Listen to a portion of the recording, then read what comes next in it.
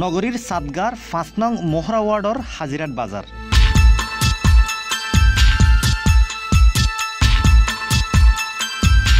ব্যস্ততম হালুঘাট মেইন রোডের সপ্তাহে দুই দিন বয়ে এ বাজার গান, যার কারণে লাগিতা হে দীর্ঘ যানজট।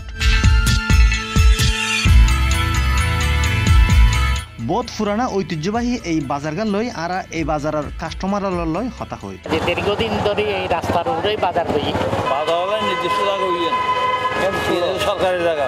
এত ছোট খুব ছোট ইয়ানটা নব একটা জায়গা না পাবে ইয়ানটা বই আর অভিযোগ জানালে তারা ফিজা খায় না আমাদের তো ইয়েন্দি পুলিশ বক্স ইয়েন্দি তো জাম করবে বেশি আরও। হার করে হন দুমতি করে আর এটা এক এক ব্যাংকারি পঞ্চায়েতটা তো বুঝ সিটি কর্পোরেশনে ইয়ানোর অকশানদের অকশান বছর বিশ্বলিঙ্গ প্রতিকার গড়াইয়া নাই বলেই তো ব্যাগুন সচেতন সমাজ নমাতির ওই প্রতিকারের ব্যবস্থা থাকতো অবশ্যই দেখানো মানুষে প্রতিবাদ করত।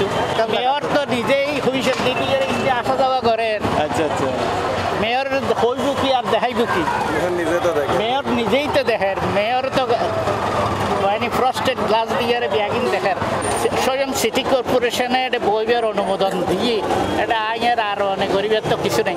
হালুরঘাট ব্রিজ হই দৈন সিটাঙর কয়েকখান উপজেলার লাখ লাখ মাইসর চলাচলের রাস্তা ব্যস্ততম এই রোডত বাজার আর স্থায়ী কোনো বাজার কমপ্লেক্স নির্মাণ করা হইব কিনা স্থানীয় জনপ্রতিনিধির হাতে জানতে চাইলে সি প্লাস টিভির জানায় ঐতিহ্যবাহী বাজার আমি মাননীয় মেয়র কইলাম যে এই বাজার তো আসলে আর সৃষ্টি হয়েছি এখন এই বাজার গো যত জায়গার মধ্যে একখান যদি ভবন করে যায় তাহলে আহ, অন্তত রাস্তার আর বাজার কেন থাকছে না। আর নির্ধারিত স্থানের মধ্যে বাজার কেন আর লইছে মেয়র মতো প্রকল্প লই মোটামুটি সিআর হিসাবে পাঠাই সিআর হিসাবে যাইয়ে নেই ভিজিট করছি ভিজিট করে এই পর্যন্ত সয়েল টেস্ট করছি আশা করা যাবে অল্প কিছুদিনের ভিতরে যদি বিল্ডিং এর কাজ শুরু করে দিয়ে মধ্যমান দুর্ভোগ যাইব কই আর বাজার থাকছে আশা করি।